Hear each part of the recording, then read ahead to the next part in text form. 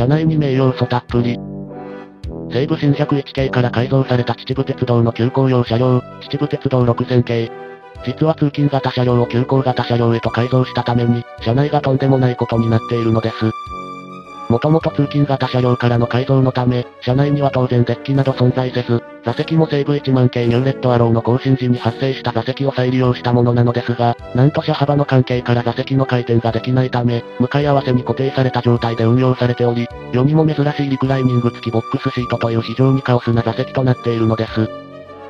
それに元通勤型車両のため当然窓割りなどあっておらず、背面テーブルが撤去されている部分でもテーブル止めが残っている箇所があるほか、種車の名残で急行型車両にもかかわらず、なんと某特急車両のように窓が開いたりと、外見も中身も名要素まみれなまさに名列車なのです。